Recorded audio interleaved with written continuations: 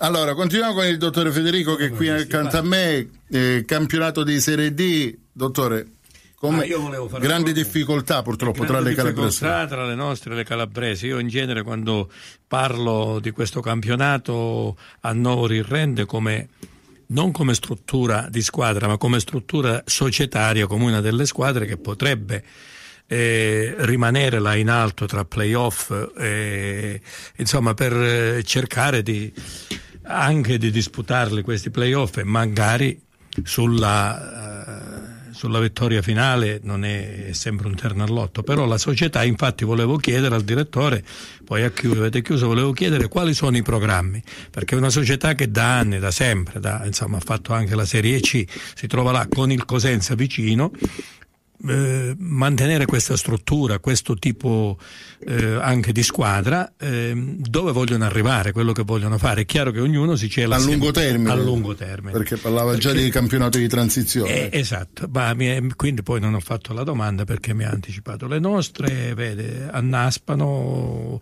cioè c'è questo problema a livello di bassi fondi della classifica, però è chiaro che debbono fare i conti non solo con eh, mille difficoltà, però anche con un bilancio che lascia il tempo che trova, sì. perché giustamente gestire una, una, società di serie D non è, non è, una cosa semplice con i tempi che corrono. Certo.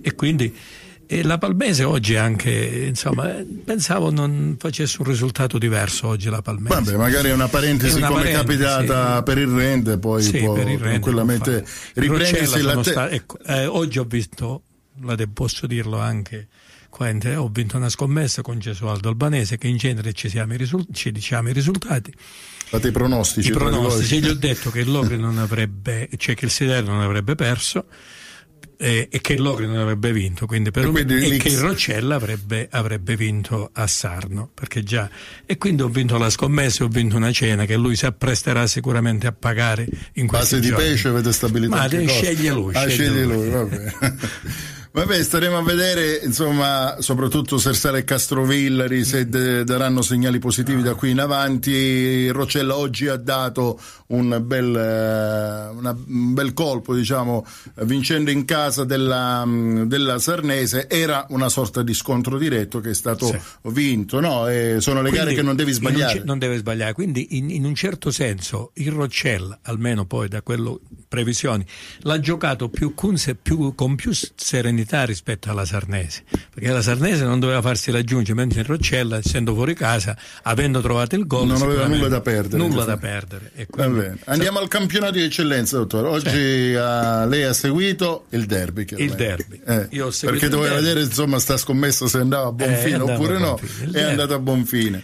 Guarda, è stato com- come, come pronostico Tanto pregherei la redazione di fermarsi con le telefonate, tra poco continueremo, parliamo prima di Logri sì, È stato come pronostico un derby come si era previsto, cioè il Logri in att- ha fatto la partita nel, nonostante tutto, il Siderno in attesa perché gli poteva bastare anche il pareggio.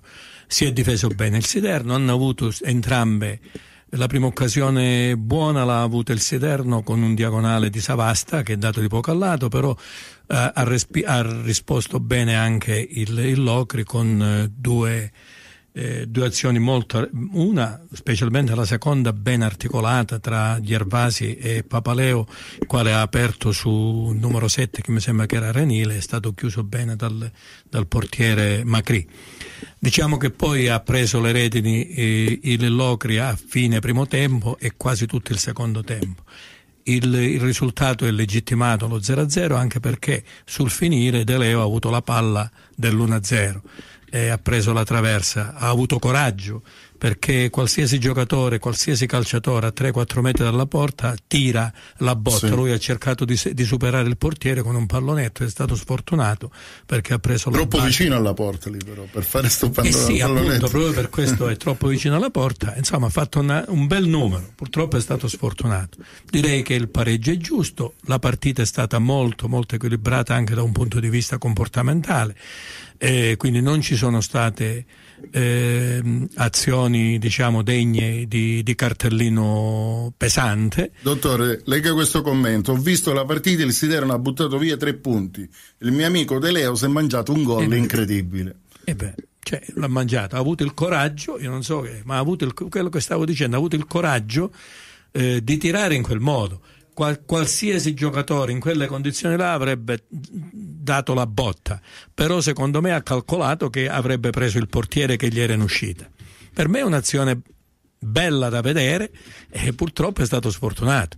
D'altronde non meritava neanche il Siderno alla luce di come sono andate le cose vincere, come non lo meritava a questo punto qua neanche il Locre perché non hanno, hanno, avuto delle azioni più che altro a, centro, io a centrocampo, eh, però poi alla fine secondo me il pareggio è giusto. Devo fare i complimenti a, questa volta a Mandarano, non so Mandarano, il numero 6, non so se è Mandarano Mandarano. Mandarano. Mandarano che ha fatto una partita eccezionale, a mio modesto avviso, perché è spostato e non so perché il mister la face, forse per problemi di fuori quoto alto, lo, ha messo sempre sulla fascia. Oggi ha giocato a centrocampo e ha retto il centrocampo in un modo meraviglioso. Sembra, Filomeni ha avuto qualche uomo in più oggi. Che rientrava, eh, giusto? No, no, perché chi, chi gli rientrava? Gli rientrava solo il centravanti, però sostanzialmente ha avuto più o meno perché se tu gli entri il centravanti, gli esce Fabio, eh, diciamo che Figliomeni non ha, eh, io torno a ripetere, quel ragazzo la pipicella non l'ha avuto, infatti ha peccato molto sulle fasce, ha sofferto molto sulla, su una fascia il, il Siderno per questo. Eh, avendo avuto un, uh, un, pipicella in più, magari le, eh, le situazioni potevano cambiare. Eh, però diciamo che sostanzialmente fine, è 0, stato 0 bello, giusto, sì. una grossa cornice di pubblico, Quello molto, mai, sì, la tribuna, la tribuna coperta era piena, non era solo di... Forse la gara non ha dato tanto no, ecco, spettacolo. Ecco, doveva dare molto di più per le, per le persone che c'erano.